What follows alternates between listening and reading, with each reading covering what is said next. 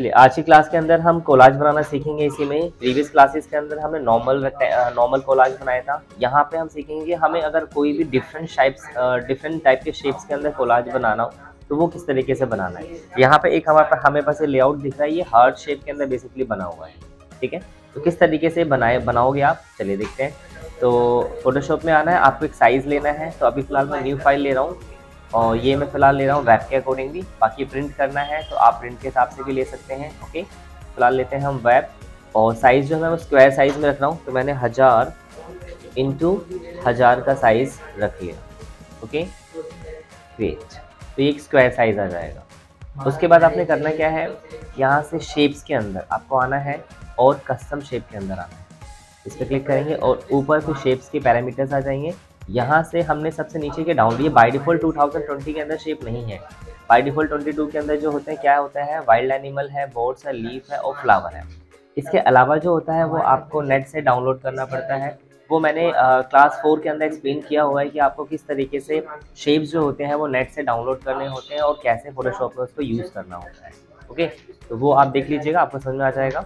अब ये हमारे पास ऑलरेडी यहाँ पे हर शेप्स हैं। इसको आपने ड्रॉ करना है जैसा भी आपको चाहिए। फ़िलहाल मैं अभी इसमें से लेता हूँ। ये एक शेप लिया और यहाँ से शेप लेयर लेंगे। तो क्या होगा आपने? जस्ट ड्रॉ कर देना है। ये हमने यहाँ पे एडजस्ट कर लिया। स्क्वायर कोड अब इसको कितना बड़ा रखना है, वो आप यहाँ पे सेट कर लीजिए। ठीक है? अभी इसकी ओपेसिटी हम डाउन कर देंगे। ये जैसे हमें एक हल्का सा एक रेफरेंस के तौर पे दिखाना है। ओके अब क्या करना है? हमें यहाँ पे रेक्टेंगल शेप्स बनाने अलग अलग इसके अंदर। तो उसके लिए भी आपने करना क्या है यहाँ से सिंपल रेक्टेंगल लेना है शॉर्टकट की इसकी यू होती है। और कलर मैं इसका फ़िलहाल रख रहा हूँ ऑफ़ वाइट ग्रे टाइप में। और आउटलाइन जो रहेगा वो नन नो आउटलाइन ठीक है? फिर हमने एक ये ड्रॉ कर दिया। और इसमें क्या हो रहा है हल्का सा राउंडेड आ रहा है। बिकॉज़ यहाँ पे राउंड वैल्यू फाइव पिक्सल दी हुई है। तो ये आप ज़ीरो कर दो ताकि एग्जैक्टली रेक्टेंगल आए वो कॉर्नर्स में आए, ये। और फिर आपने यहाँ पे जस्ट ड्रॉ कर देना है। ओके इसको क्लोज कर देंगे। अब इसमें अगर आप ध्यान से देखेंगे तो इसमें क्या है?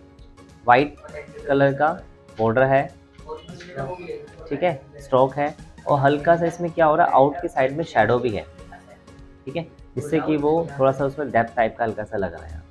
तो इसके लिए हमें क्या करना होगा? ये जो हमारा रेक्टेंगल है, इसी पे हमें स्ट्रोक और शेडो ऐड करना होता है। अब वो कैसे ऐड करेंगे? उसके लिए आपको शेप सेलेक्ट करना है। यहाँ पे एफ़ में जाना है। ठीक है? पहले ध्यान रखना मूव टूल से उस लेयर पे क्लिक करना है ताकि वो लेयर सेलेक्ट हो जाए। क्योंकि इसमें सारा रोल जो होता है, वो लेयर का ही होता है। तो मूव टूल से इस पर क्लिक कर देना है। उसके बाद यहाँ से एफ़ एक्स पे जाना है और यहाँ से आपने लेना है क्या? स्ट्रोक स्ट्रोक पे जाएँगे।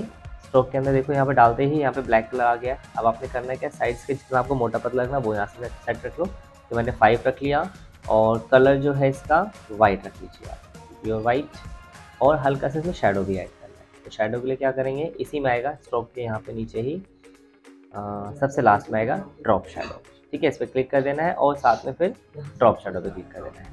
तो अब आप देखेंगे यहाँ पे हल्का सा ये शेडो आ चुका है।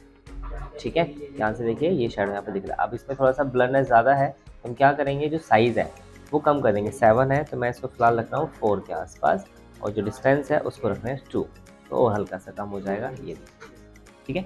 अभी सिंपल आपने बस करना क्या है स्ट्रोक डालना है शेडो डालना है, ठीक है? और नॉर्मली बस यहाँ से डिस्टेंस और साइज़ का अकॉर्डिंग सेट कर लो और हल्का सा डार्क करना है ऑपोसिटी भी आप बढ़ा सकते हैं। तो और डार्क हो जाए, ठीक है? ट्रांसपेरेंसी कम थी तो वो मैं हल्का सा और कम कर रहा हूँ ट्रांसपेरेंसी फिफ्टी के अराउंड और फिर जस्ट ओके तो ये एक हमारा इफ़ेक्ट बन चुका है, ठीक है? साइज़ छोटा इसको अब आपने करना क्या है एक काम और करते हैं, इस बैकग्राउंड को आप लॉक कर दो। जिससे कि क्या हो कि मूव ना हो। ठीक है गलती सेलेक्ट होकर के। तो उसको लॉक करने के लिए क्या करना होता है, उसको उसको क्लिक करना है मूव टू से और फिर यहाँ पे लॉक का ऑप्शन आता है। ठीक है लेयर के अंदर। इस पर क्लिक कर देंगे तो अब आप देखेंगे यहाँ पे लॉक हो चुका है। इससे फ़ायदा क्या होगा कि जब ऐसे क्लिक एंड ड्रैग करेंगे तो वो नहीं सेलेक्ट होगा, सिर्फ़ यही सेलेक्ट होगा। नहीं तो ऐसे क्लिक एंड ड्रैग करेंगे किसी पे तो क्या होगा वो? मूव होने लग जाएगा। ठीक है तो ये फ़ायदा रहेगा लॉक करने से ताकि वो आपका आपका फिक्स रहे वहाँ पे। अब इसको रोटेट करके आपने इस तरीके से सेट करते जाना है। जैसे कि मैंने और कॉपीज़ ले ली कंट्रोल टी इस तरीके से। तो एक और कॉपी कंट्रोल टी पहले एंगल वाइज और किसी किसी का साइज़ थोड़ा सा रैंडमली आप छोटा कर दो, किसी का बड़ा कर दो। स्ट्रेट कर और कोशिश करना है कि आपको हर शेप से ज़्यादा बाहर नहीं रखना हल्का फुल्का बाहर चलेगा ठीक है? ऐसा देते हैं। सा ऐसे। ऐसे ओके ठीक है? तो उसके अकॉर्डिंगली आपको एंगल वाइज सेट कर लेना। फिर एक यहाँ रख दिया कंट्रोल टी ऐसे। अकॉर्डिंग टू आपने कर्व शेप जनरली थोड़ा थोड़ा चेंज करना है।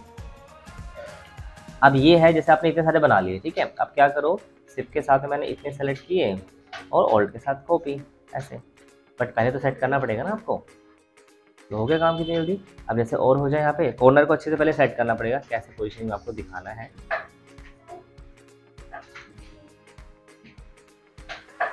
कंट्रोल टी यूज़ करने के बाद हमेशा आपको ऑलवेज क्या करना है? एंटर ज़रूर करना है।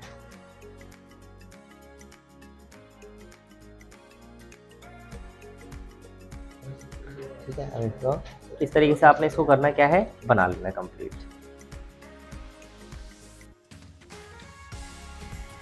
बीच में गैप जो है कोशिश करें कम से कम आए। गैप ज़्यादा नहीं आना चाहिए। गैप आएगा तो फिर वहाँ पर अच्छा नहीं लगेगा। ठीक है अब जैसे हमें यहाँ से बीच में कई सारे करने हटे जस्ट क्लिक एंड ड्रैग किया। ऑल्ट के साथ क्लिक एंड ड्रैग ओके और फिर ऐसे यहाँ से click and drag okay okay तो ये अब हमारा हमने एक, एक ओवरव्यू बेसिकली बना दिया। अब क्या करें? देखो यहाँ पे कितने सारे लेयर्स हो चुके हैं। तो ध्यान से देखिएगा यहाँ पे कितने लेयर्स हैं यहाँ पे। जितने हमने शेड्स बनाए, उतने ऑटोमेटिक लेयर्स हैं यहाँ और सबको कोलैप्स कर सकते हैं यहाँ पे आप, ठीक है? जितने जितने ताकि शॉर्ट शॉर्ट में देखें। और सबसे नीचे आ जाएँगे और हर शेप को मैं हाइड कर दे रहा हूँ यहाँ से आइस पे क्लिक करेंगे तो हाइड हो जाएगा। तो अभी कुछ ऐसा दिख रहा है आपका। बीच में अगर देखोगे, जहाँ जब हमने गैप बनाया था, वहाँ पे गैप आ रहा है, ठीक है? तो आप चाहो तो अभी हाइड मत भी करो उसको, कोई दिक्कत नहीं है। अब हमें करना क्या है, बस इसके अंदर करना क्या आप शेप वो इमेजेस डालनी है इसके अंदर, ठीक है? तो कैसे डालना ध्यान से समझना। अब हमें जिस भी शेप्स के अंदर इमेज डालना है तो पहले आपने करना है क्या? उसको क्लिक करना है। उस पर क्लिक करने से होता क्या है? वो लेयर सेलेक्ट हो जाती है। जिससे कि जब हम इमेज को प्लेस करें ना तो ठीक उसके ऊपरी इमेज आएगा। नहीं तो आपको ढूंढना पड़ेगा इमेज कहाँ है शेप कहाँ है। तो मूव टूल से उस शेप पे क्लिक करो। उसके बाद फ़ाइल में जाके आप प्लेस एम मेरिट के थ्रू या लिंक के थ्रू दोनों के ऑप्शन है। ऑप्शन है सेम ही है।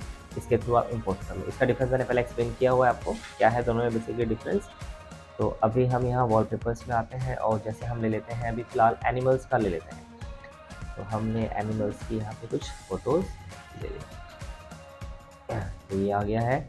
इसको आप ओल्ड के साथ प्रपोर्शनली छोटा कर सकते हैं। ओल्ड से करेंगे तो क्या होगा?